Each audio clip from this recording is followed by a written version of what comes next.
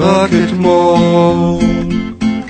קניתי לי כרטיס לראות את פול ומיד הרגשתי כל יכול כי יש לי כרטיסים לפול אך פתאום קיבלתי הודעה במשיבון דיסקונט רוצים לסגור לי את החשבון אני עורג ליום אתמול למה חמש מאות שקלים בעמידה?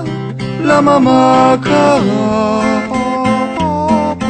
אין ברירה, אמשכן את כל המשפחה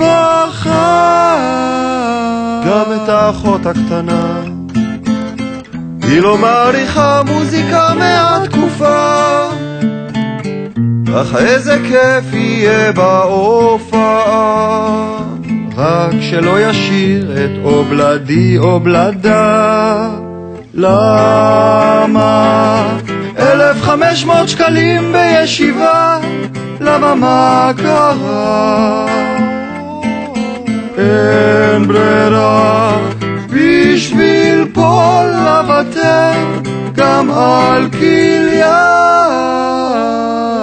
או אשך יש לי שניים אחד אשכח אני רוצה לראות את פול כל כך. אני אשכח מהאשך כי פול מקרטני הוא